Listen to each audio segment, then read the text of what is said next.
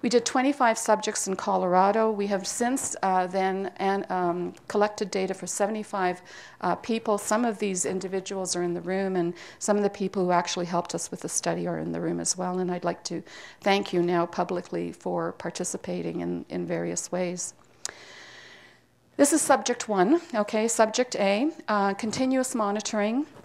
We have three different time periods here that are approximately three minutes uh, long, and we have their heart rate for those three minute segments. So, subject A had a heart rate of 58 beats, 56 beats, 58 beats. And this is the information that Dr. Jeff Marrongelle was given, as well as the, na- uh, the um, age, the gender, um, blood pressure, a few other physiological parameters, but he had no idea when someone was exposed, and he would then identify whether he thought their heart was responding, whether it was responding in a positive or a negative fashion. And this is when this particular person was exposed. And you would look at the rhythms of the heart, and I looked at this and tried to figure out if there was a difference, and I couldn't see one. This is another subject. Okay.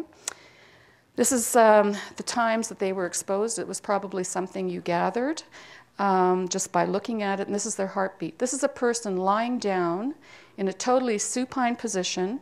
Uh, their heart rate jumped from 68 beats a minute to 122 instantly. As soon as we plugged the phone into a live outlet, this is a sham exposure here it went back down to normal and then we plugged it in again and got this type of exposure. This is an example of tachycardia, which means a rapid heart rate. One of the people I worked with, after we, whenever someone responded in a very dramatic manner, I would simply tell them at the end of the study and I would show them their results and say, look, this is how you're responding. And one woman began to cry.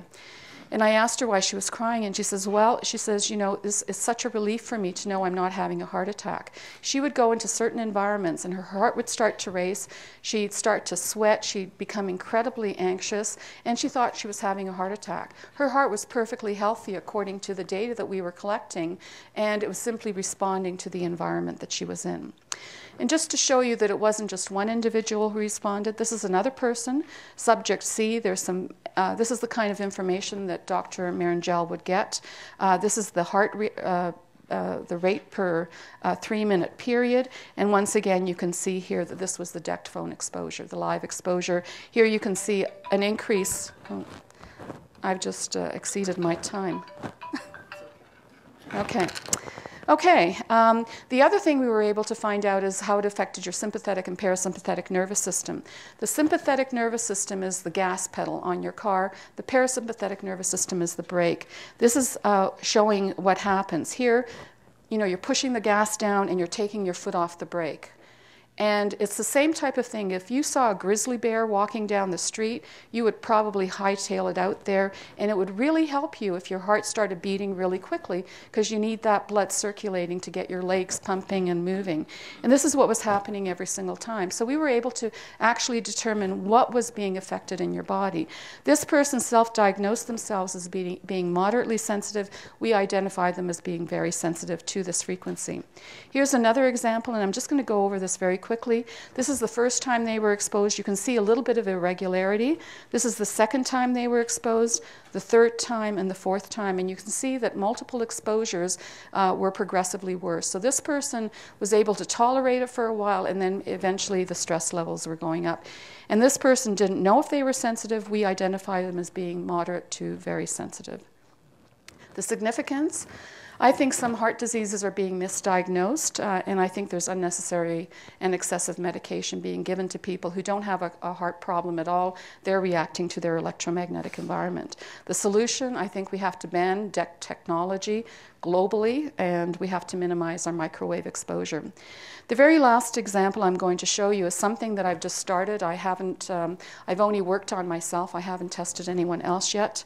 Uh, and it's looking at uh, basically my blood to see how it's affected by electromagnetic energy. I bought a, a, a, mat that's called an MRS 2000, which stands for magnetic resonance stimulation. So I'm interested not only the harmful effects of this radiation, I'm also interested in the healing effects of electromagnetic magnetic energy. And so I thought I would start uh, testing myself. One of the ways they sell this product is they say that after you lie on it for a very short period of time, your blood cells separate and they're free floating, and so you've got a lot of oxygen exchange uh, between the cells. And so I thought, well, I'll just test myself. I've got a microscope microscope, I can do this, and pricked my finger, took a blood sample, and this is what I got. Okay, this was on August 19th of this year. And that doesn't look too healthy. It means my blood cells are actually clumping together.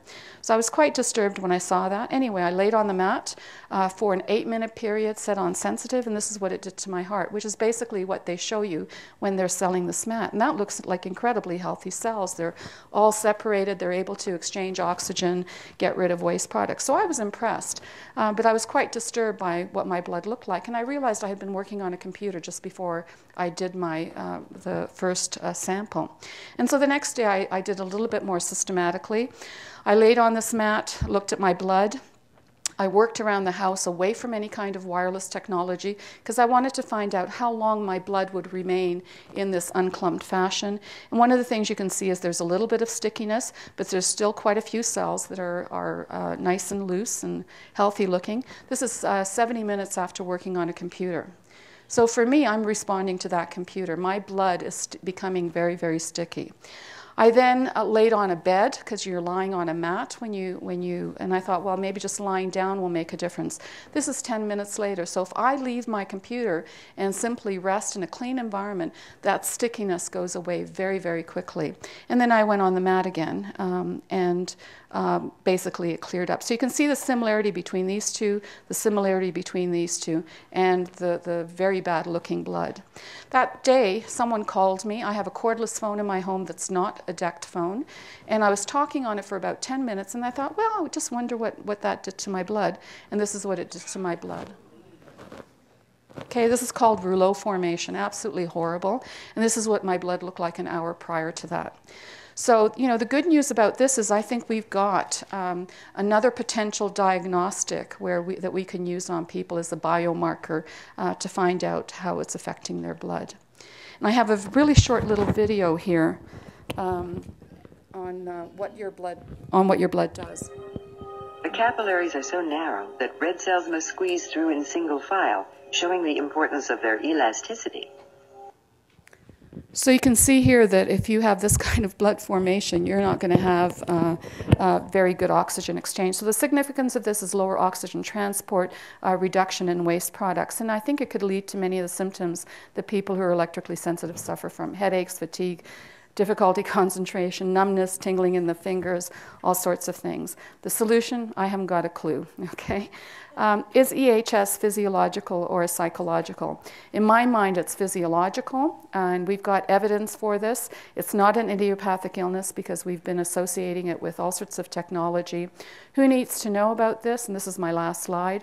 Uh, people who are suffering, doctors who are helping people who are suffering, policymakers, manufacturers, so they can actually design equipment that's safe for teachers and parents so we can protect our children, and the media so that they can make this publicly available.